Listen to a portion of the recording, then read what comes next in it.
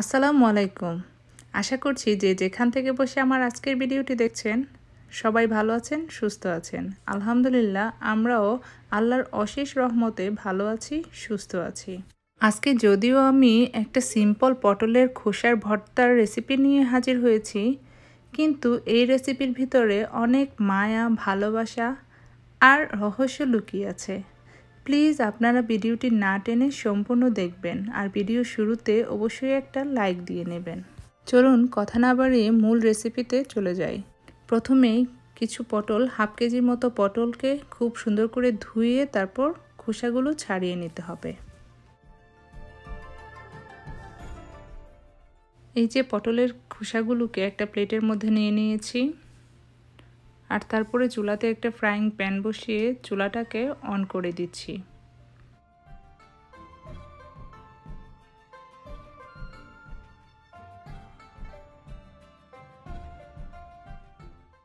চুলাটা অন করে এখন আমি একটু সয়াবিন তেল অথবা রান্নার তেল অল্প একটু এক টেবিল চামচের মতো রান্নার তেল দিয়ে ফ্রাইং প্যানটাতে একটু নেড়ে চেড়ে দিচ্ছি। তেলটা একটু গরম হয়ে এলে তারপর এর মধ্যে আমি দিয়ে দেব পেঁয়াজ একটু বড় বড় করে কাটা কিছু রসুন, রসুনের কোষ আর কিছু কাঁচামরিচ। কাঁচামরিচটা আপনাদের পছন্দ অনুযায়ী দেবেন, যে যেরকম ঝাল খেতে চান। এগুলো দিয়ে তেলের মধ্যে আমি একটু হালকা করে ভেজে নিচ্ছি।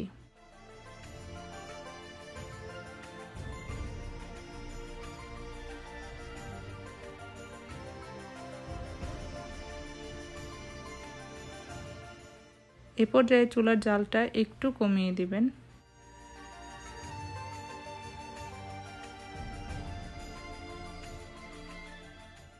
পেঁয়াজ কাঁচামরিচটা একটু নেড়ে চেড়ে পটলের খোসাগুলোকে আমি এর সাথে দিয়ে দিচ্ছি।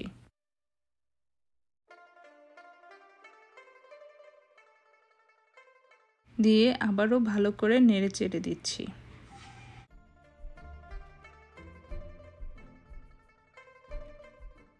এখন আমি কিছুটা লবণ দিয়ে দিচ্ছি। লবণটা দিবেন আপনার স্বাদ অনুযায়ী। ভর্তাটা যখন সম্পূর্ণ কমপ্লিট হয়ে যাবে, তখন আপনি লবণটা চেখে দেখে নেবেন আর লবণ লাগলে দিয়ে নেবেন। লবণটা দেওয়া হয়ে গেলে আমি এখন নেড়ে চেড়ে লবণটাকে খুব সুন্দর করে মিশিয়ে তারপর আবার ঢাকনা দিয়ে ঢেকে দিচ্ছি মিডিয়াম আছে অল্প সিদ্ধ করব, অনেক বেশি না। ভিডিওর শুরুতেই বলেছিলাম যে এই রেসিপির সাথে জড়িয়ে আছে কিছু মায়া, ভালোবাসা আর কিছু রহস্য। সেই রহস্যটা হচ্ছে, এই যে ভিডিওতে দেখানো হচ্ছে দুটি হাত, সেই দুটি হাত কিন্তু আমার নয়। তাহলে প্রশ্ন হলো, এই হাত দুটি কার? আমার রেসিপিতে হাত দুটি কার হতে পারে? বেশি না ঘুরিয়ে বলছি, আমার একটি ভিডিওর কমেন্টে আমার ছোট বোন আমাকে একটা কমেন্টস করেছিল। সে বলেছিল, আপু, পটলের ছালের ভর্তার রেসিপিটা দিও। তো আমি তাকে আবার রেগুলার ফোন দিয়ে বলেছিলাম যে, জানোই তো, আমাদের এখানে পটলগুলো খুব ছোট ছোট হয়। তো এই ছালগুলো ছেলা আমার পক্ষে অনেক কষ্টসাধ্য ব্যাপার। তো ও বলল যে, আপু, তোমাকে আমি যদি পটলের ছালের ভর্তার রেসিপিটা পাঠাই, তুমি আপলোড দিতে পারবে না? তো আমি বলেছিলাম কেন পারব না? অবশ্যই পারব। যেই কথা সেই কাজ। সে সে আমাকে বাংলাদেশে বসে পটলের ছালের ভর্তাটা করে আমাকে ভিডিওগুলো পাঠিয়ে দিয়েছিল। যখন আমি ভিডিওগুলো হাতে পেয়েছিলাম, আমি ভেবেছিলাম, আসলেই বোন তো বোনই হয়। কথাগুলো বলতে গেলে আমার হয়তো বা চোখটা ভিজে আসছে। আমি জানি না, আমি কোনো ভুল বলছি কিনা। আসলেই ভাই বোনের সম্পর্কটা এমনই হয়। সে আমাকে কষ্ট করে ভর্তাটা করে, তারপর ভিডিও করে আমাকে সে পাঠিয়ে দিয়েছে। সেই ভিডিওগুলো যখন আমি এডিট করছিলাম, তখনও আমি কাঁদছিলাম।